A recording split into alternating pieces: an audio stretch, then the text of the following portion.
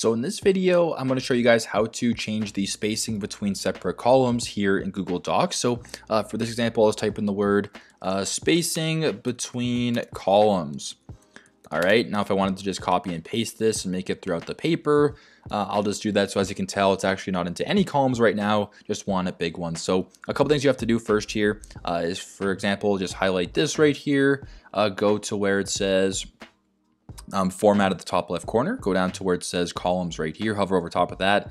Now, if you want to separate into three different columns, for example, I'll just press on the three right here, um, making this uh, space between columns. So as you can tell, I have three separate columns. Now, what I mean by changing the space between columns is this area right here, separating column one and column two. If you want to make that smaller or larger, you know, closer together or further away, this is what I mean by that. So I'm actually going to go ahead here uh, and just highlight this um, right here. Then once you're here, I want you to go to format, same thing, go to columns, uh, but go to more options right here, press on more options. Now, uh, different options here, column options, number of columns, you can change that if you want. Uh, spacing inches, this is what I mean by this. So as of right now, it's 0.5 inches apart from each other, but if you wanted to change that to, let's just say 0.1 for example, I'll press apply and there you go. It actually makes the distance a lot closer to each other uh, between columns here in Google Docs. I hope this video helped. Thanks again for watching.